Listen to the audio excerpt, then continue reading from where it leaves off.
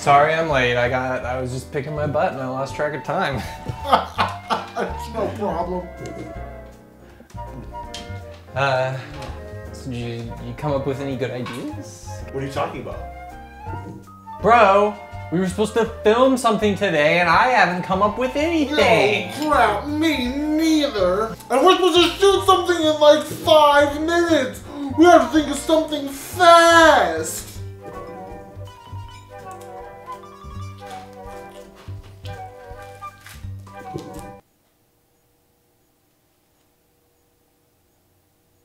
Wait a minute. I think I got something. Does it have to be a good idea? Of course not.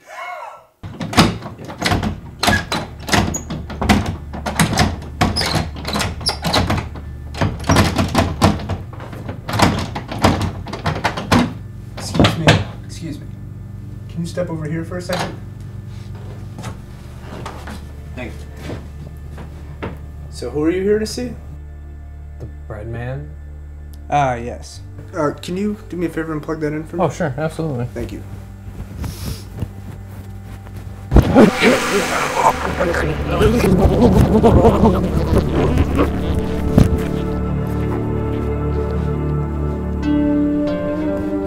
He's been expecting you. Oh, that makes me feel very special.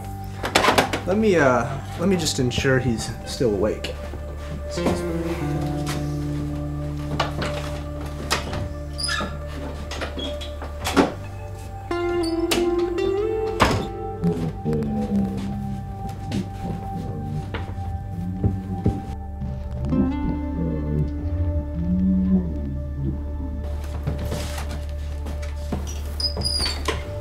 The bread man will see you now.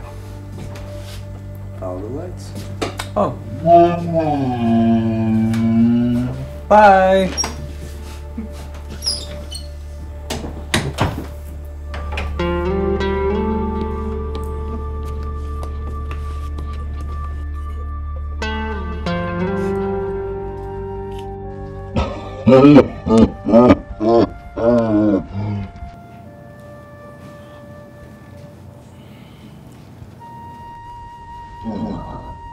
Breadman, my name is Kevin Schmickel.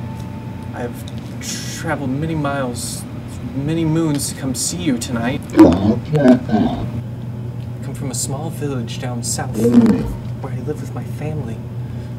My sister, my sister, my other sister, my third sister. No, wait, my, that's my. Well, I have six sisters. When you first arrived, we thought you were a miracle, that you were descended from the heavens to save us.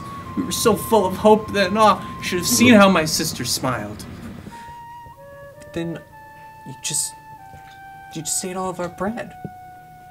That's it. Is that all you can say?